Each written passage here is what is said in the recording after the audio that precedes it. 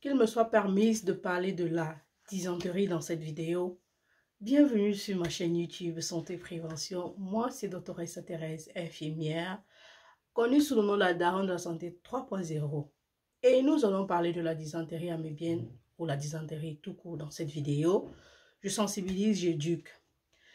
Il existe deux types de dysenterie. La dysenterie amébienne et la dysenterie bactérienne la dysenterie bactérienne est plus fréquente dans les pays, dans les pays développés, c'est-à-dire dans les pays européens, si on peut le dire ainsi.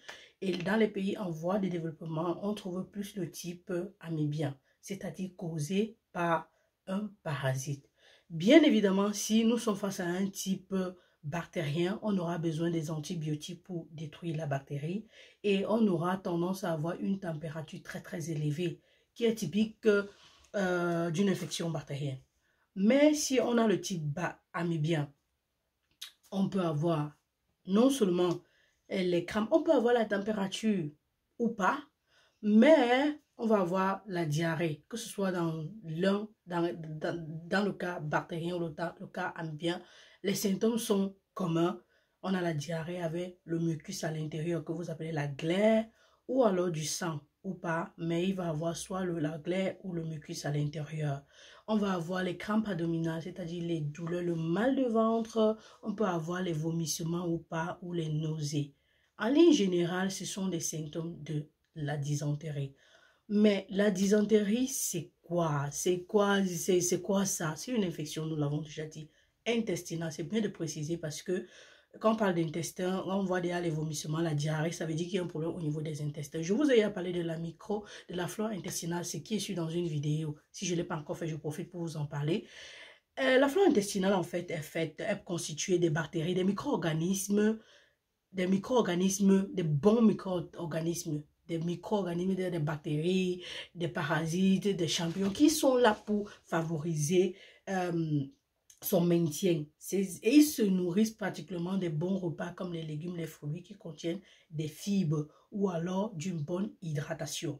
Il peut arriver au cours de notre vie parce qu'on n'a pas un bon style de vie que d'autres agents infectieux arrivent et ils veulent nous déranger. Comme par exemple ces amibes dont nous avons parlé ou ce type de bactérie qui va venir causer la dysenterie, qui vient les perturber. Ils vont donc commencer à se battre pour expulser ces agents infectieux à travers les selles et quelquefois à travers les vomissements. Et donc, euh, il leur faudra un peu du temps, c'est-à-dire entre 3 à 7 jours pour pouvoir expulser la bactérie parce que non, ils sont là, c'est leur travail, ils vont le faire. De ce fait, vous allez ressentir les symptômes. Et maintenant, en ressentant les symptômes, on va chercher à, se débarrasser des symptômes. Donc, on aura besoin de la thérapie.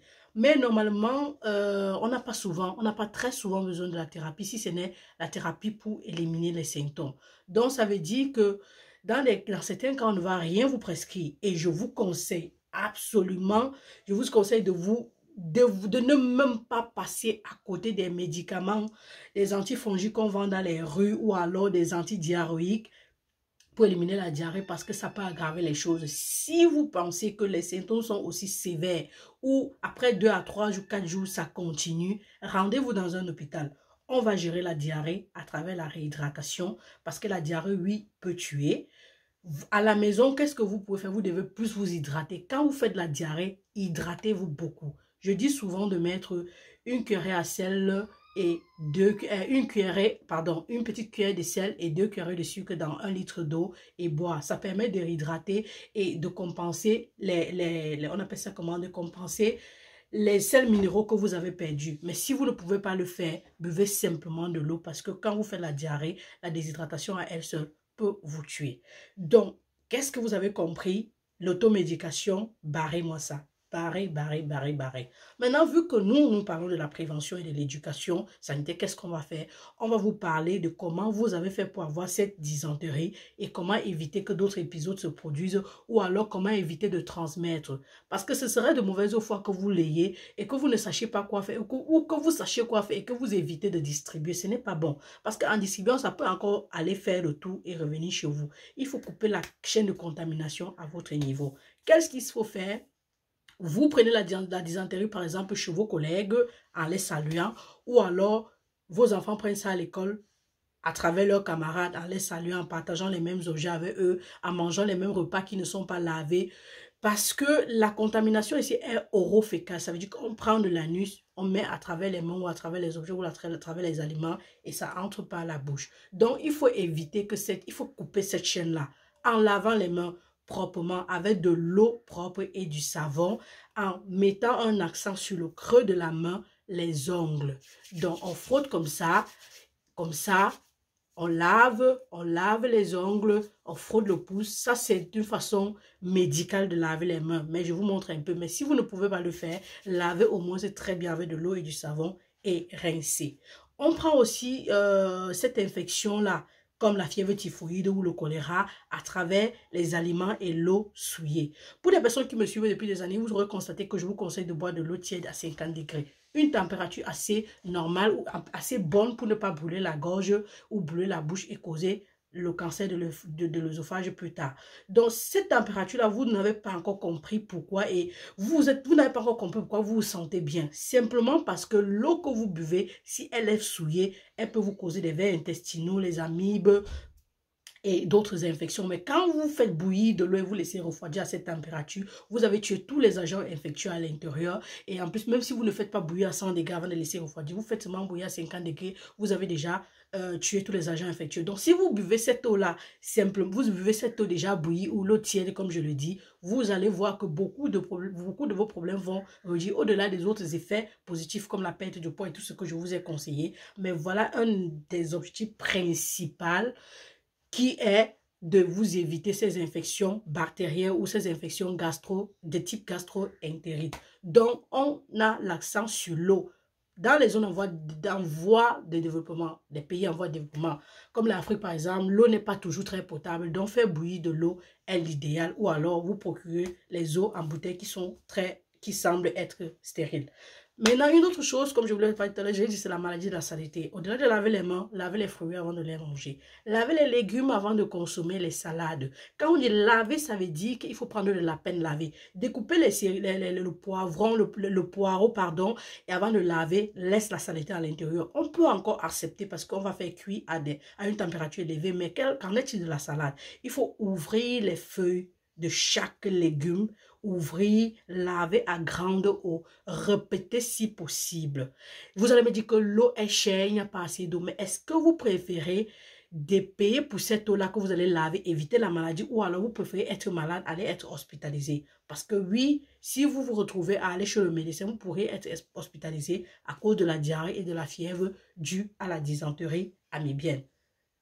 Donc, au-delà de laver les mains, on a à parler, apprenez à vos enfants à laver les mains quand ils rentrent de l'école, avant de mettre les choses dans la bouche et même quand ils saluent les gens. Avant, si vous êtes malade, restez à la maison avant de retourner au travail. Retournez au travail au moins ce 48 heures après que les symptômes aient, disparu. Ou encore, qu'est-ce que vous pouvez faire de bon? Évitez de cuisiner pour toute la famille. Si oui, lavez-vous très bien les mains. Si vous pouvez éviter, c'est bon. Quand vous lavez votre linge ou celui de quelqu'un qui est malade, lavez ça à des températures très très élevées avec l'eau chaude et éviter de laver ensemble avec d'autres habits pour exactement interrompre cette chaîne de contamination. Donc, euh, on a parlé là, si on a parlé seulement de laver, laver, on va toujours vous dire de laver, X, Y, laver, laver les mains, mais aussi euh, ce contact-là avec les, avec, les autres. On va parler un peu aspect un peu critique, le rapport, les rapports sexuels ici, de nos jours, il y a cette autre pratique en là qui peut-être n'hésitait pas ou peut-être la nuit n'est pas vraiment fait pour ça. Mais souvenez-vous qu'à partir de là aussi, ça se transmet parce que j'ai dit tout à l'heure que c'est oro, c'est oro-fécal. C'est qu'on prend de là-bas, on met dans la bouche. Donc, on sait que durant ces pratiques, les gens se font la fellation. Après, on met dedans, après, on se fait la fellation, on met dans la bouche. Donc, c'est pas là aussi que ça se transmet. Ça veut dire que quand vous êtes malade, évitez d'avoir les rapports avec quelqu'un ou évitez d'avoir les rapports avec quelqu'un qui est malade. Au moins, s'attendez environ 48 heures jusqu'à ce que les symptômes se dissipent vraiment, se dissipent du tout, du tout, du tout, avant que vous envisagez, vous envisagez ce, cette voie-là. Pour ceux qui vivent en Afrique déjà, vous vivez cette, cette situation presque tout le temps, si vous ne faites pas attention sur l'eau polluée et toutes les règles d'hygiène. Mais ceux qui voyagent, vous pouvez prendre ces précautions. Les glaces qu'on vend dans la rue, les sucettes, l'eau glacée, l'eau congelée, si on a fait avec une, eau, une eau sale, c'est pas parce que c'est congelé que vous allez, vous n'allez pas attraper la maladie. Vous allez tout de même être malade. Donc, prenez la peine de regarder comment vous, euh, comment vous faites des choses et prenez la peine de penser que prévenir est mieux que guérir. Et c'est ce que nous faisons sur cette page santé prévention. C'était encore moi. On se revoit dans une autre vidéo. Si vous avez aimé, merci de partager, merci de liker, merci de mettre un commentaire pour me le dire. Et ensuite, suivons-nous sur Facebook Santé Prévention Base.